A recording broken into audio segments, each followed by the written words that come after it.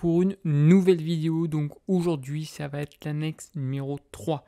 Je rappelle, j'ai déjà fait une première vidéo sur l'annexe numéro 1, l'annexe numéro 2 et cette fois-ci, c'est l'annexe numéro 3. On verra par la suite également la 4 et la 5. Euh, je ferai une même vidéo pour la 4 et la 5 exactement.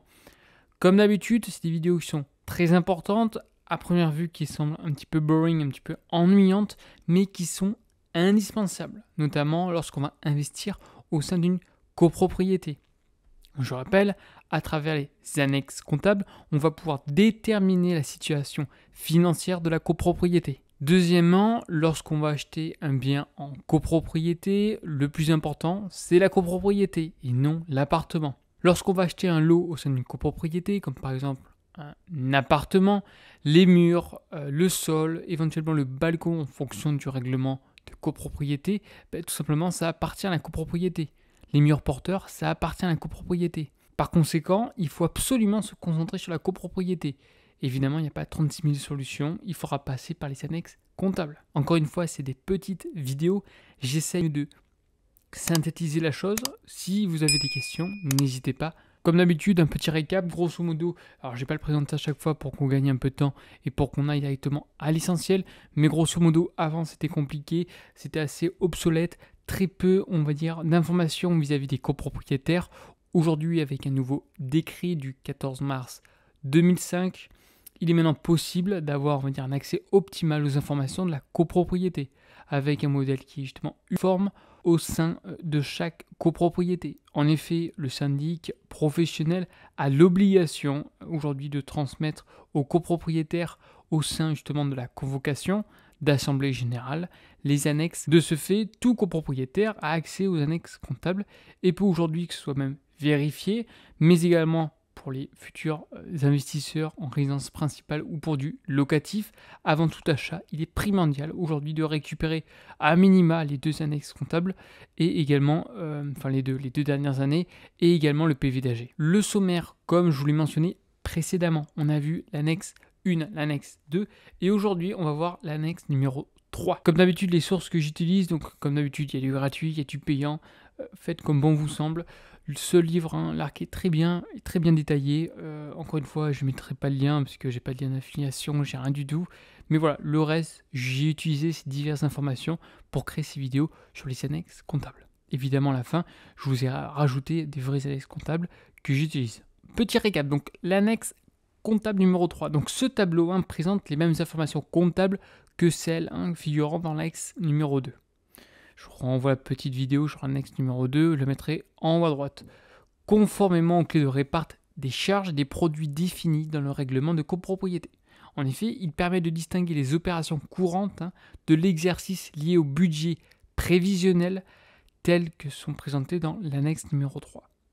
En ce qui concerne l'approbation des comptes, le total des charges relatives aux opérations courantes dans le tableau d'annexe numéro 3 doit correspondre au total des charges pour les opérations courantes du tableau de l'annexe numéro 2. On verra ça à la fin, je vais mis des screenshots pour que vous puissiez repérer où ça se situe ces informations. Alors voici à quoi ressemble aujourd'hui l'annexe numéro 3. Primordial, regardez bien au niveau des dates, c'est extrêmement important. Deuxièmement, cette annexe, pour moi, c'est l'annexe la plus, la plus simple à comprendre. Là où, les personnes qui veulent un peu se la raconter en se disant c'est des experts aujourd'hui de l'analyse et compagnie, prenez l'annexe numéro 3. C'est la plus simple, ça va l'essentiel. Deuxièmement, la plupart des copropriétaires, ce euh, qui regardent surtout, c'est est-ce que euh, on leur doit de l'argent, est-ce qu'ils doivent de l'argent, pourquoi, comment, ainsi de suite. Donc aujourd'hui à gauche, là, vous avez les clés de répart. Ici, c'est l'exercice qui était approuvé, on en reparlera par la suite, ne vous inquiétez pas. Ce qui était voté lors, lors de l'Assemblée Générale, comme d'habitude, il y a toujours un budget qui est voté en amont. Par conséquent, derrière, il y a ce qui a été réalisé. On peut très bien, au cours de l'année, faire des économies, mais également à l'inverse, hein, dépenser plus, ce qui a été voté initialement. Et après, ça, c'est les années N plus 1 et N plus 2. On continue, donc les tableaux donc 3 et 4, hein, au niveau des annexes, représentent des documents d'une grande utilité pour les copropriétaires afin justement d'examiner leur situation personnelle. En effet, ils offrent une explication détaillée des montants, des appels de fonds qu'ils ont reçus en se basant sur les clés de répartition des charges qui déterminent la part de chaque copropriétaire. Vous inquiétez pas, au cours du temps, on va voir vraiment un exemple détaillé. Ces tableaux hein, permettent surtout une comparaison avec les deux exercices précédents. On va voir également les chiffres par la suite, ainsi que le budget prévisionnel de l'année suivante, poste par poste. En présentant les dépenses hein, en relation avec les recettes, par exemple catégorie par catégorie, ils permettent aux copropriétaires de mieux appréhender la situation de la copropriété. On va pouvoir aujourd'hui identifier les postes de dépenses les plus significatifs en fonction des montants et en fonction de chaque année, le niveau de suffisance de recettes, le montant de la provision pour les dépenses courantes qui lui sera euh, demandé de régler ou qui pourrait lui être reversé. On verra ça à la fin si c'est négatif ou positif. Comme je viens de vous le mentionner, à gauche on a tout ce qui est clés de répartition, les clés de répartition, c'est-à-dire caricature au maximum, mais c'est des clés, c'est-à-dire chauffage, bâtiment, partie commune, euh, charge VMC, charge ascenseur, ainsi de suite. On va pouvoir justement visualiser de manière précise chaque clé de répart, son budget et comment il évolue au cours du temps. Alors comme je de vous le mentionner, on répète un peu. Alors comme je de vous le mentionner, on répète un peu. Mais c'est pas grave parce que c'est important et c'est compliqué de comprendre pour ceux qui sont relativement novices. Encore une fois, pas d'inquiétude, pas de jugement. Le but étant, c'est que ce que vous allez prendre aujourd'hui, ça va vous servir toute votre vie. Donc à gauche, on a les clés de répartition. Les, clés de répartition servent à répartir les charges entre chaque copropriétaire en fonction de leur tantième. Tantième, c'est en fonction des parties communes. Ces parties communes, ces fameux tantièmes au millième, ça va dépendre euh, de la taille de votre appartement, où il se situe, de son exposition. De toute manière, tout est défini dans l'état descriptif de division ainsi que dans le règlement de, copropriété. Ces charges peuvent concerner l'ensemble des copropriétaires, donc charges communes ou également des charges spéciales également, comme les charges ascenseurs. Vous retrouverez donc ces clés de répartition dans votre règlement de copropriété. À la fin, on aura donc un solde qui sera excédentaire ou un déficit constaté sur l'exercice. Et donc à ce moment-là, deux options, soit on va, reverser cet argent s'il est excédentaire, si un déficit, évidemment, on va devoir effectuer des appels de fonds par la suite pour combler ce, manque d'argent. Comme d'habitude, faites attention également aux dates. Donc voici à peu près ce que j'utilise comme document pour vous montrer. Alors il y a plusieurs pages, hein. sur des grosses copros, il y en a plusieurs, euh, plusieurs pages. Là je vous montre la première. Par exemple, on a l'eau hein, en 601 on va pouvoir voir au niveau de cette répartition, au niveau de l'exercice précédent approuvé, un budget, il était approuvé.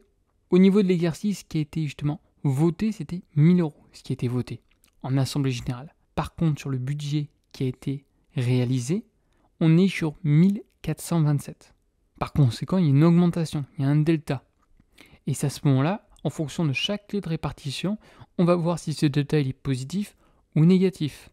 On va avoir juste après euh, la, photo. Vous inquiétez pas. Donc, N-1, exercice précédent, ce qui a été voté, ce qui a été réalisé, et les budgets qui vont être aujourd'hui prolongés en N plus 1 et N plus 2.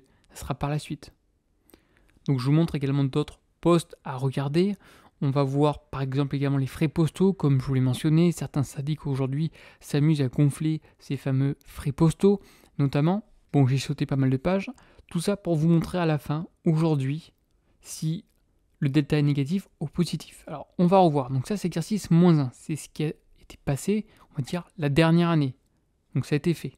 On va voir aujourd'hui euh, un exercice, donc total de charges nettes, à 238 628,93. On arrondit à 238 000, ok? Par conséquent, la provision, donc ce qui était appelé auprès des copropriétaires, on est à 251 000. Donc si on fait cette différence entre ce qui a été réalisé et ce qui a été entre guillemets demandé à chaque copropriétaire, on a un delta. Ce delta est négatif. Ce delta va être reversé au copropriétaire. En effet, lorsqu'il y a un crédit, c'est-à-dire qu'on va voir rendre l'argent au copropriétaire. Même chose également. Ce qui a été provisionné par les copropriétaires est supérieur à ce qui a été réalisé. Donc ça c'est bon signe. En tant que copropriétaire, on préfère toujours voir un petit négatif qu'un petit positif. Sinon, on va avoir encore donné de l'argent. Donc déjà, ça vous permet aujourd'hui de voir le budget, ce qui a été payé, si le budget augmente de façon exponentielle ou non, ou il y a une certaine stabilité. Donc il est primordial de regarder ceci sur les annexes comptables. Encore une fois, ça c'est l'annexe numéro 3. Donc vous pouvez constater que c'est pas très très compliqué. Il y en a juste à chaque fois les clés de répart et on regarde à la fin si ce qui a été voté ou ce qui a été réalisé, il y a une différence. Deuxièmement, on a vu tout à l'heure hein, qu'il y avait avoir une corrélation entre l'annexe numéro 2 et l'annexe numéro 3. On va retrouver ces nombres juste ici. Donc je remonte juste avant. Hop. Donc l'exercice donc n-1. N-1. Petit delta, on a vu ça dans les clés de répart, ça c'est euh, celle qui est très détaillée au niveau de l'annexe numéro 2. Hein. Je vous renvoie ma vidéo, je mettrai en haut à droite. Donc on retrouve ce petit delta juste ici. Et également au niveau euh, de l'exercice, donc N, ce qui a été approuvé juste ici. Si on fait un petit récap hein, au niveau des points qui sont primordiaux, surtout les points de, de contrôle à vérifier sur l'annexe numéro 3. Donc cette annexe numéro 3 est dédiée uniquement aux charges courantes. On verra par la suite sur les prochaines, notamment l'annexe 4 et 5, que c'est différent. Premièrement, il faut vérifier si le budget appelé est bien celui qui a été voté. Deuxièmement, on va comparer le budget voté par clé de répart avec l'exercice réalisé. Ce qu'on a vu. Il faut également vérifier si votre exercice est déficitaire ou excédentaire. Et s'il est identique à l'annexe numéro 2. On a vu ça précédemment. Il faut également vérifier si les produits affectés se trouvent dans la bonne clé de répartition. Alors ça, comment on va aujourd'hui le, déterminer? Euh, On va surtout analyser l'état des dépenses. En effet, normalement, il y a toujours un petit conseil syndical avant de passer à l'Assemblée Générale où on a toutes les factures, on, les retrouve également sur l'extranet et en fonction des montants, on va pouvoir aujourd'hui déterminer si ça a été, on va dire, bien codifié au niveau des bonnes clés de répart. Des fois, ben, on se trompe de bâtiment, ça arrive parce qu'il y a constamment des factures. Donc le comptable, l'erreur est humaine. Plus tard, on va arriver, à mon avis, sur des algorithmes, sur des logiciels qui vont être très performants. Il y a toujours besoin d'un comptable pour vérifier cela. Mais il faut vérifier que chaque facture soit bien codifiée dans la bonne clé de répartition. Il y a souvent des erreurs au niveau des bâtiments en général. Pourquoi? Parce que le comptable ne va jamais sur le terrain. Il a du mal à visualiser le bâtiment, la copropriété. Et donc des fois, évidemment, il peut y avoir des petits aléas. En tout cas, voici les 4 points à vérifier à chaque fois au niveau de l'annexe numéro 3. Si vous avez des questions, surtout, n'hésitez pas dans les commentaires. N'oubliez pas de liker la vidéo et je vous dis à une prochaine vidéo. Allez, bye bye.